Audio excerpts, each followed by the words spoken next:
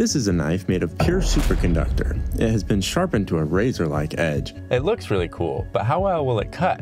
And was it worth the $500 we spent on the material alone? There's only one way to find out. We're gonna put it to test against our previous reigning champ, the Meteorite knife. To get you up to speed, let's quickly review how he made that. As you can imagine, Meteorite is also quite expensive, so our workaround was to get a small piece and use heat and a jewelry rolling mill to stretch it out. Then I shaped it with a belt grinder and attached a handle before etching it in acid to bring out its special pattern. It turned out a lot better than I thought it would, and it was quite sharp. So if we're going to beat meteorite, we're gonna have to pull out all the stops for our superconductor knife. We got a very nice piece of superconductor that we're gonna combine with a carbon fiber tang and some custom handles that I made from scratch. However, in order to get the razor sharp results we're looking for, we're gonna have to bring in the big guns. Somebody who's a winner of Forged in Fire, the ultimate knife maker's test. We have to go all in to make sure this knife has the best chance of dethroning the meteorite knife. While this is cutting, allow me to explain superconductors a little bit. This rare material is used to make things levitate, it's used in MRI machines, and even particle accelerators. It's great for helping you bend the laws of physics. Now you nerds out there are going to say it's impossible to bend the laws of physics, but that's not what your mom said last night. so far in our journey to find the best exotic material for a knife blade, we've had some really good ones and some real stinkers. I'm talking to you, Amethyst, so I'm hoping superconductor will be the next big thing we need to take it to the next level. But before we get to any of that, we have to actually get our hands on some superconductor. I don't know if you've ever tried to buy any, but it's not too easy. Unless you want to burgle a hospital or science facility, you're kinda out of luck unless you know someone. See, I've been in the game for longer than a lot of you viewers have been on this earth. My contact, let's call him Jeffrey E., operates in some of the darkest corners of the internet. He's got access to substances and materials you don't even want to know exist. So when I hit him up, I knew he would deliver, even if the prices were astronomical. After a quick Bitcoin transaction and waiting a couple weeks for it to ship from his island headquarters, we had our superconductor. Oh, wait uh, uh, I, uh, I get my sugar and my superconductor from the same supplier on the dark web, and yeah, I keep telling them, you know, put it in the, put them in different packages, make them look different. That is some beautiful superconductor, if I do say so myself. Here's a pro tip for anyone following along at home. Avoid the guy named Ian Asir. He'll either send you really bad quality copper or take you waterboarding in Guantanamo Bay. I learned the hard way, it's not as fun as it sounds. We left a millimeter on there so it wouldn't fall through because that was fixing to. Yep, it would have gone right into that hole. So now we have to break that beautiful little piece off. All right, she's sanded down. Let's see how she looks. Bummer, is it hot in here or is it just me?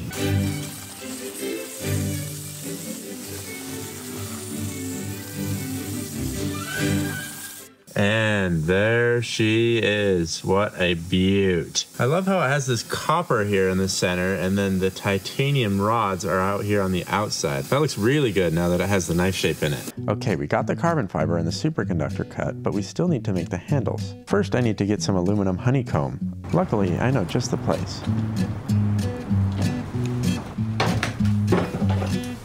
Jackie Chan would be disappointed in me. I think I see it. I got it just what I.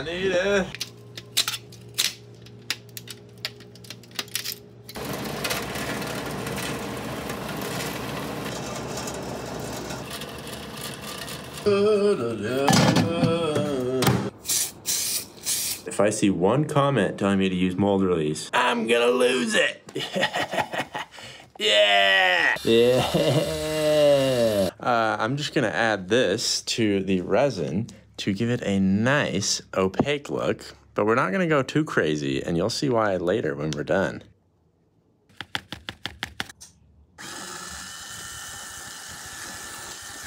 Look at that. Time for some secret sauce. All my homies call me Roy G. Biv. This is getting warm, which means it's starting to cure, which means it's go time.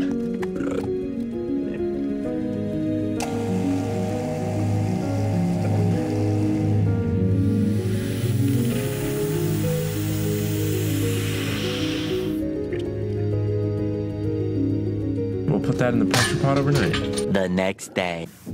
All right, moment of truth here.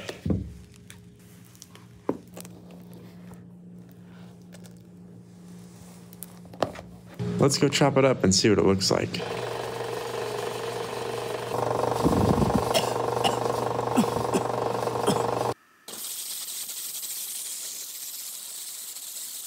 Well, we have our scales, but don't call me a fish. Howdy, I'm Patrick. These are two of my favorite people my brother Daniel and Nate, the blade maker. This is Nate Summers. He's a Forged in Fire champion, and he's known for making knives so sharp they can do things you wouldn't think possible. Have you ever seen someone cut a slice off a carrot that's paper thin?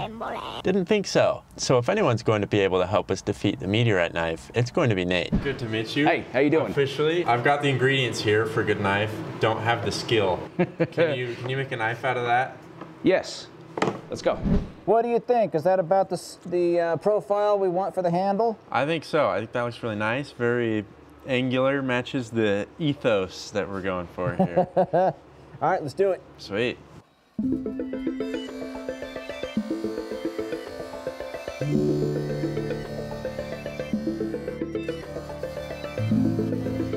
And tell me how that feels. I'm holding it just like so.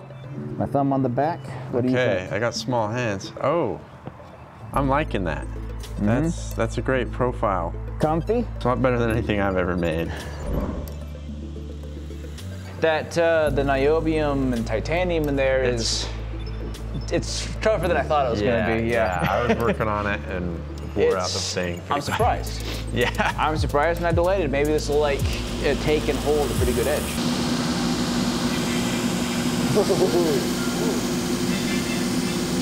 Oh wow. That's cool. Oh yeah. If we want to make this thing really sharp, we want to make the edge thinner.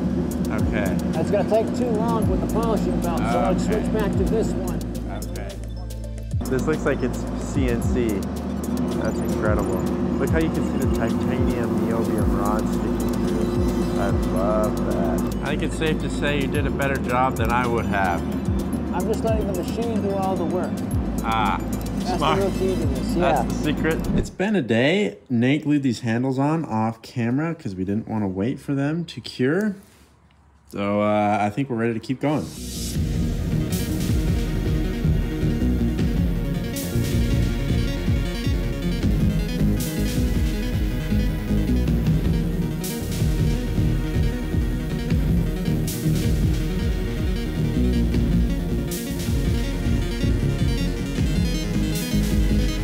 Think that's all for the 36.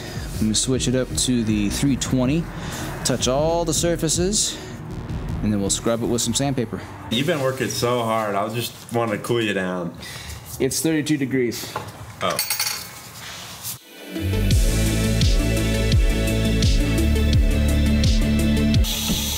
Straight lines are cool.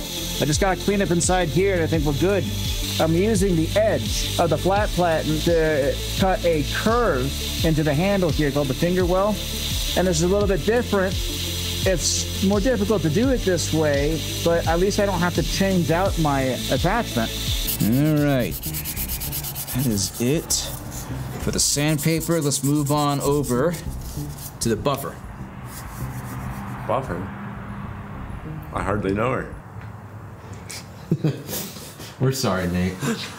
if you want us to leave, we can leave. I hope the audience knows what this is like for me. Ooh. Ooh. Ooh. Oh, it's kind of like translucent. Just about done. Let me get inside here and here. That's a cool looking knife. Now place it. Blade Runner 2049? I don't know. I was thinking the other one that get pulled into the video game. Tron. Tron. It's a Tron blade. Yeah. Let's scratch off that epoxy and then let's like uh, do like the final etch. Now before we etch this, I want to get it super clean. If the surface is not touching the acid, nothing's gonna work. Acetone's perfect. It's not gonna destroy anything on here. It won't hurt the epoxy resin. It won't hurt the scales. and it won't hurt the metal. And it's good for removing nail polish. It's ready.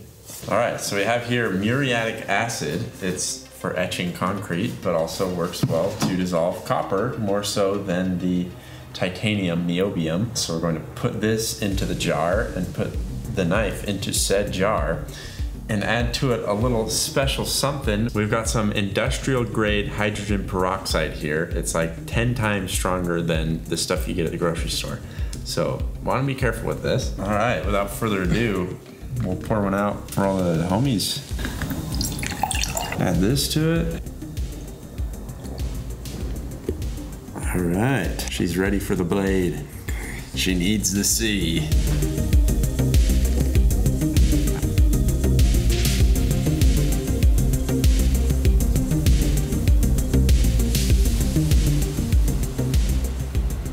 Yeah, I'd say let's take it out, and see what it looks like. Okay. Oh.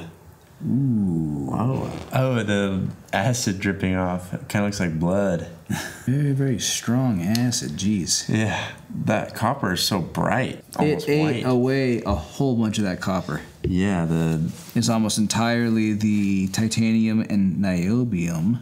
All right, I'm going to dump it in a neutralizing agent. That sounds fancy. It's not. It's just like a soap. Now, it's not going to burn me if we touch it.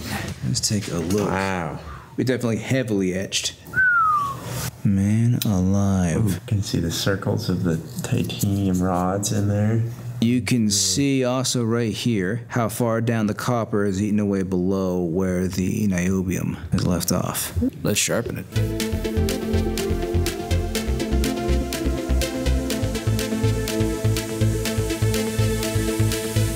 You've been wearing gloves this whole time. Why take them off now?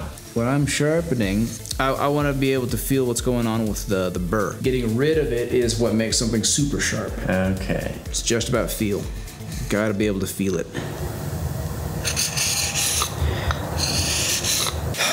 Oh, man. I think we'll be able to cut through all of our vegetables with this just fine.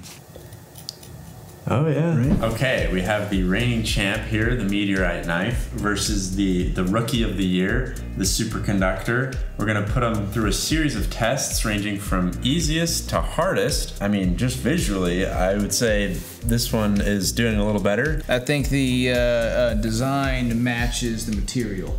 I'd agree. Well, let's cut some stuff and let's see how it does. Um, my uh, thought on the design of this knife is that um, the edge is very thin and pretty sharp, and the spine is very thick.